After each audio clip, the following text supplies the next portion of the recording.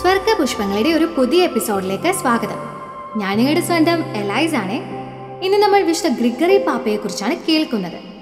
സന്യാസിമാരിൽ നിന്ന് പോപ്പായവരിൽ ആദ്യത്തെ ആളാണ് മഹാനായ വിശുദ്ധ ഗ്രിഗറി പാപ്പ. സത്യത്തിൽ അദ്ദേഹം മാർപ്പാപ്പയാവാൻ ഒരിക്കലും ആഗ്രഹിച്ചിട്ടില്ല.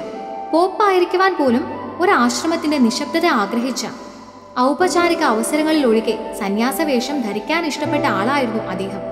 സന്യാസിയെ പോലെ തീരെ ആർഭാടമില്ലാതെ ചിലവ് ചുരുക്കിയാണ് ജീവിച്ചത്. ഈ പാപ്പയുടെ മഹത്വം മനസ്സിലാവണമെങ്കിൽ പിതാവിന്റെ ജീവിതകാലത്തുള്ള റോമിന്റെ അവസ്ഥ നമ്മൾ അറിഞ്ഞിരിക്കണം. ഒരു കാലത്ത് പ്രൗഢിയാർന്ന മേൽക്കോയ്മ ഉണ്ടായിരുന്ന റോം നാശത്തിന്റെ പടുകുഴിയിലായിരുന്നു. നഗരം തുടർച്ചയായി ആക്രമിക്കപ്പെട്ടും കൊള്ളയടിക്കപ്പെട്ടുവരുന്നു.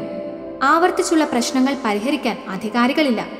ഇതിന്റെ എല്ലാം കൂടെ തീപിടുത്തം വെള്ളപ്പൊക്കം പ്ലേഗ് തുടങ്ങിയവയെ ടാക്സ് പിരിക്കാൻ നടക്കുന്നവരെ കൊണ്ടുള്ള ശല്യത്താൽ ജനങ്ങൾ പൊറുതിമുട്ടി.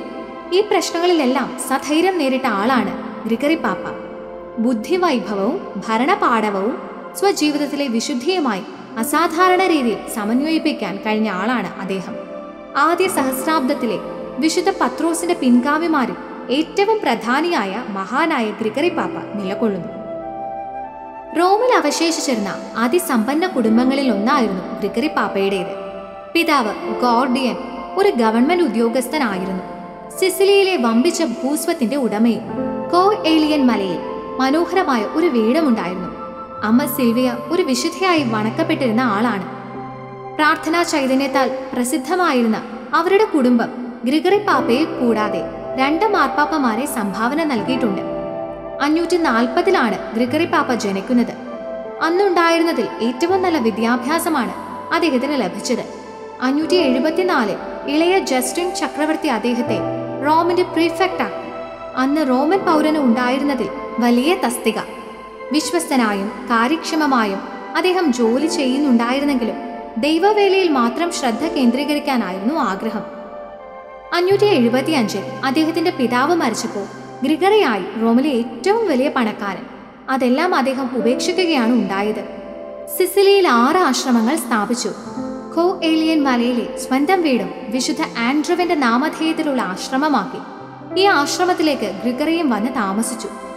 രത്നഖചിതമായ ടൂക ഉപേക്ഷിച്ച് ബെനഡിക്ട്രൻ സഭാവസ്ത്രം ധരിച്ചു.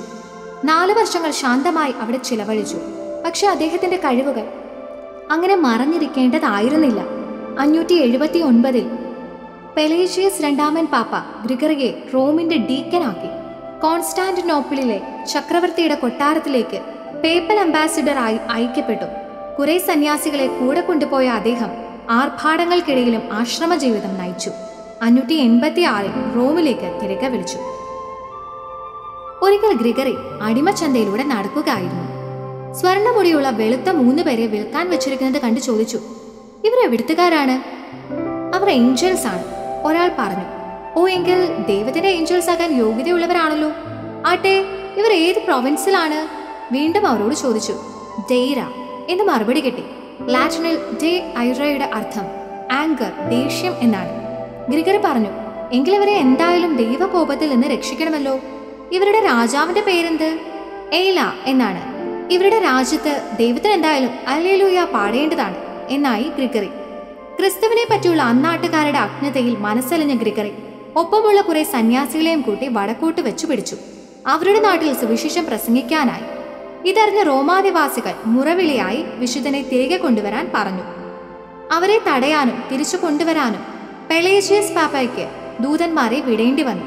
പിന്നീട് പോപ്പായിരിക്കെ അദ്ദേഹത്തിന്റെ സെന്റ് ആൻഡ്രൂ ആശ്രമത്തിലെ നാൽപ്പത് സന്യാസികളെ പ്രയോരച്ചനായ അഗസ്റ്റിന്റെ കീഴിൽ അഞ്ഞൂറ്റി തൊണ്ണൂറ്റിയാറിൽ ഇംഗ്ലണ്ടിലേക്ക് അയച്ചിരുന്നു. കെന്റിലെ രാജാവ് മാമോദിസ മുങ്ങിക്കഴിഞ്ഞപ്പോൾ അനേക ശതം ആളുകൾ വിശ്വാസത്തിലേക്ക് വന്നു. അഗസ്റ്റിൻ കാന്റോബറിയിലെ ആദ്യ ആർച്ച് ബിഷപ്പായി ഗ്രിഗറി അവരുടെ സഹായത്തിനായി മിഷണറിമാരെ വീണ്ടും അയക്കുക മാത്രമല്ല ആരാധനയ്ക്കും സഭയുടെ വളർച്ചയ്ക്കും ആവശ്യമായതെല്ലാം ചെയ്തു കൊടുത്തു. പൂർത്തീകരിച്ച എല്ലാ മതപരമായ ദൗത്യങ്ങളിലും വച്ച് ഗ്രിഗറി പാപ്പയുടെ ഹൃദയത്തോട് ചേർന്നിരുന്നത് ഇംഗ്ലണ്ടിന്റെ സുവിശേഷവൽക്കരണമായിരുന്നു. അദ്ദേഹത്തിന്റെ പ്രവർത്തികളുടെ മകുടമായിരുന്നു ആ വിജയം. അഞ്ഞൂറ്റി തൊണ്ണൂറിൽ ടൈബർ നദിയിലെ വലിയൊരു വെള്ളപ്പൊക്കത്തിന് ശേഷം പ്ലേഗ് പടർന്നു പിടിച്ചു. പെലേഷ്യസ് പാപ്പയും അതിനിരയായി. അധികാരികളും ജനങ്ങളും ചേർന്ന് പെട്ടെന്ന് തന്നെ ഗ്രിഗറിയെ മാർപ്പാപ്പയായി തിരഞ്ഞെടുത്തു. ചക്രവർത്തി മൗറിറ്റ്സ് ഗ്രിഗറി എഴുതിയ ആ തെരഞ്ഞെടുപ്പ് അംഗീകരിക്കരുതെന്ന് യാചിച്ചുകൊണ്ട് കോടതിയിലെ സുഹൃത്തുക്കളോട് അപേക്ഷിച്ചു ചക്രവർത്തിയോട് ഇക്കാര്യത്തെപ്പറ്റി സംസാരിക്കാൻ. പക്ഷെ കാര്യമൊന്നും ഉണ്ടായില്ല. നിയമത്തിന് ചക്രവർത്തിയുടെ അംഗീകാരം ലഭിച്ചതോടുകൂടി എല്ലാവരും അദ്ദേഹത്തെ പിടിച്ച പിടിയാലെ വിശുദ്ധ പത്രോസിന്റെ ബെസിലിക്കയിൽ കൊണ്ടുവന്ന് സെപ്റ്റംബർ മൂന്ന് അഞ്ഞൂറ്റി തൊണ്ണൂറിൽ പോപ്പായി വാഴിച്ചു. പോപ്പായുള്ള പതിനാല് വർഷങ്ങളിൽ പലപ്പോഴും മാരകമായ അസുഖങ്ങൾ ബാധിച്ചു കിടപ്പായെങ്കിലും സഭയ്ക്കും ജനങ്ങൾക്കുമായി ഗ്രിഗറി പാപ്പ വിശ്രമമില്ലാതെ വേല ചെയ്തു. പ്രസംഗത്തിലൂടെയും തൂലികയിലൂടെയും മറ്റുള്ളവർക്ക് പരീക്ഷണങ്ങളെ അതിജീവിക്കാനുള്ള പ്രചോദനമായി. മാർപ്പാപ്പയായുള്ള അദ്ദേഹത്തിന്റെ അധികാരകാലം സഭാ നടത്തിപ്പിന്റെ ഏറ്റവും നല്ല മാതൃകയായിരുന്നു. ഭിന്നതകൾ ഒത്തുതീർപ്പാക്കി അച്ചടക്കം പുനഃസ്ഥാപിച്ചു. ഇറ്റലിയിലെയും ഫ്രാൻസിലെയും സ്പെയിനിലെയും സഭകളെ പുനരുജ്ജീവിപ്പിച്ചു. ബ്രിട്ടനിൽ വിശ്വാസത്തിരി കൊളുത്തി. സഭയിലെ പ്രാർത്ഥനകൾ ആരാധനാ ഗീതങ്ങൾ ക്രമപ്പെടുത്തി. ഗ്രിഗോറിയൻ ചാൻ ഗ്രിഗോറിയൻ കുർബാന ഇതെല്ലാം ഉണ്ടായത് ഈ മാർപ്പാപ്പ വഴിയാണ്. അദ്ദേഹം എഴുത്തുകളിലൂടെയും സഭയിലെ പ്രഘോഷകരെ ശക്തിപ്പെടുത്തി. ഇടതടവില്ലാതെ സുവിശേഷം പ്രസംഗിച്ചു. അദ്ദേഹത്തിന്റെ ജീവിത മാതൃക വാക്കുകളേക്കാൾ കൂടുതലായി പ്രസംഗിച്ചു. ലോകപ്രസിദ്ധമായിരുന്നു ഗ്രിഗറി പാപ്പയുടെ തീക്ഷ്ണത. ക്രൈസ്തവ ലോകത്തെ എല്ലാ സഭകളുമായും അദ്ദേഹത്തിന് ബന്ധമുണ്ടായിരുന്നു. ആരാധനാക്രമത്തിന് നൽകിയ മനോഹര സംഭാവനകളുടെ പേരിൽ അദ്ദേഹം എന്നും അറിയപ്പെടുന്നു. കുടികിടപ്പുകാരോടും കർഷകരോടുമൊക്കെ വലിയ കരുണയായിരുന്നു. അദ്ദേഹത്തിന്റെ ഭരണ മികവ് കൊണ്ട് പേപ്പൽ ട്രഷറിയിലേക്ക് പ്രവഹിച്ചിരുന്ന പണം അധിക നാൾ അവിടെ കിടന്നിരുന്നില്ല. ആവശ്യക്കാർക്ക് വേണ്ടി അതെല്ലാം ചിലവാക്കി. അടിമകളെ മോചിപ്പിക്കാൻ വലിയ തുകകൾ മോചനദ്രവ്യമായി കൊടുത്തു. ഈജിപ്തിലെയും സിസിലിയിലെയും വിളവെടുപ്പിനൊപ്പം റോമിലെ ധാന്യ സംഭരണപ്പുരകൾ നിറച്ചു വച്ചിരുന്നു. പാവപ്പെട്ടവരെ ഊട്ടാനായി. ഗ്രിഗറി പാപ്പയ്ക്ക് വിശ്രമമില്ലായിരുന്നു. മരണമടുത്തപ്പോഴും സഭാകാര്യങ്ങളിലും എഴുത്തുപണികളിലും വ്യാപൃതനായിരുന്നു. അറുന്നൂറ്റി നാലിൽ ദിവംഗതനായ പാപ്പായെ സെന്റ് പീറ്റേഴ്സ് ബെസിലിക്കയിൽ സംസ്കരിച്ചു. സഭയുടെ പരമോന്നത അധികാരിയായുള്ള അദ്ദേഹത്തിന്റെ വാഴ്ചയുടെ അവസാന കാലമാവുമ്പോഴേക്ക് സഭയുടെ പ്രസിദ്ധി ലോകം മുഴുവനിലേക്ക് കിഴക്ക് നിന്ന് പടിഞ്ഞാറോട്ട് വ്യാപിച്ചു. സഭയുടെ എക്കാലത്തെയും ആദരണീയരായ നാല് ലത്തീൻ വേദ പാരംഗതരകളിൽ ഒരാളായി ഗ്രിഗറി പാപ്പ അറിയപ്പെടുന്നു.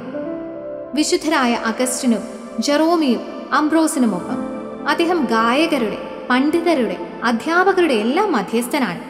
മഹാനായ വിശുദ്ധ ഗ്രിഗറി പാപ്പയുടെ വാക്കുകളിൽ കലർപ്പില്ലാത്ത തീക്ഷ്ണതയോടെ ആത്മാക്കളുടെ രക്ഷയ്ക്കായി വേല ചെയ്യുക എന്നതിനേക്കാൾ ദൈവദൃഷ്ടിയിൽ വലുതായ വേറൊരു അർപ്പണമില്ല. ഇന്നത്തെ സ്വർഗപുഷ്പങ്ങൾ ഇവിടെ പൂർണമാകുന്നു. മറ്റൊരു വിശുദ്ധ ജീവിതവുമായി അടുത്ത എപ്പിസോഡിലൂടെ വീണ്ടും കേൾക്കാം.